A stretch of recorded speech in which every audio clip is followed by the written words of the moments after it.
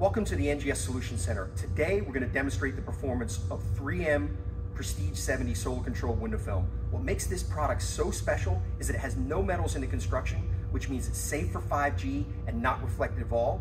It also has a 70% visible light transmittance, which means it's virtually invisible on the glass because clear glass is in the 80 to 87% VLT.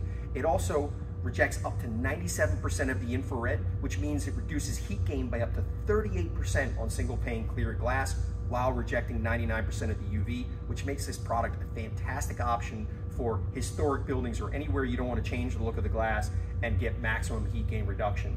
So we have this product installed here on quarter inch single pane clear glass. You could barely tell it's on there. And then this panel down here is quarter inch single pane glass, no film. So Prestige 70, no Prestige 70. So we're gonna go inside and demonstrate how this film performs.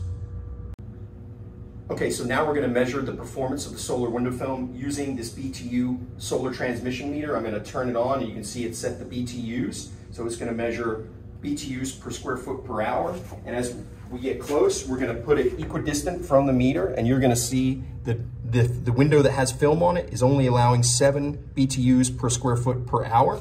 And as we come down to the window without the solar film, you're gonna see it's somewhere in the neighborhood of right around 280, 270 BTUs per square foot per hour. So that's a pretty substantial reduction um, in, in solar transmission.